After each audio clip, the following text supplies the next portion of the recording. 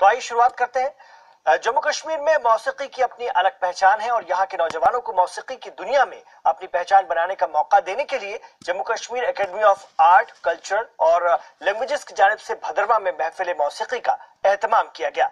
ये खबर देखिए।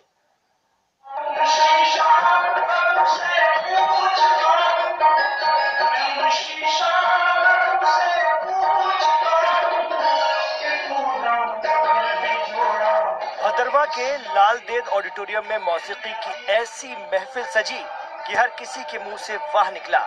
Jammu Kashmir academy of art, culture और लैंग्वेजेस की डोडा यूनिट की जानब से मुनद इस प्रोग्राम में रियासत के नामी फनकारों के साथ साथ भदरवा के मकामी टैलेंट्स को भी परफॉर्म मुहैया कराई गई, ताकि उन्हें भी अपनी फनकारी दिखाने का मौका मिल सके।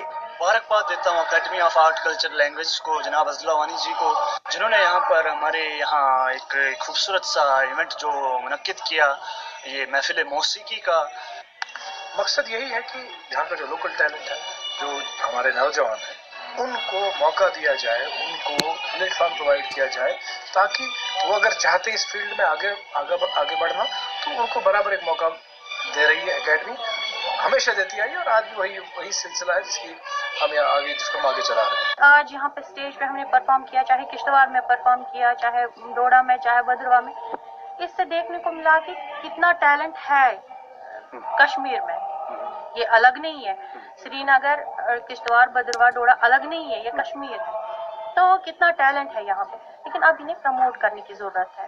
वो किन को करना है? वो जो हमारे सीनियर्स है उनको प्रमोट करना है। इस शानदार मौके को फनकारों ने खूब बनाया और एक से बढ़कर एक कारकर्दगी पेश कर नाजरीन की तालियाँ बटोरी। महफिल मौसीकी में सभी जबानों से ताल्लुक रखने वाले फनकारों ने अपनी अपनी फनकारी का लोहा मनवाया। ज़िंदगी में खुश और बिज़ी रहने का सबसे अच्छा तरीका मौसीकी है। कहते हैं, खाली दिमाग शैतान का होता है, लेकिन मौसीकी इस खाली वक्त को बिज़ी कर देता है, आपको सुकून पहुंचाता है, आपकी थकान को दूर करता है। और मौसीकी ने न जाने कितनों को कामयाबी की बुलंदियों तक पहुँचाया है। रियासत के नौजवानों के लिए J and K academy of art culture और लैंग्वेजेस प्लेटफॉर्म मुहैया करवा कर उनके मुस्तकबिल को संवारने में अहम किरदार अदा कर रही है।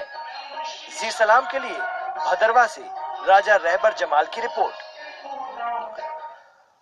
और अनंतनाग के 70 साल के बुज़ुर्ग श्यामलाल इन दिनों नौजवानों के लिए मिसाल है। 70 साल के होने के बावजूद श्यामलाल आने वाले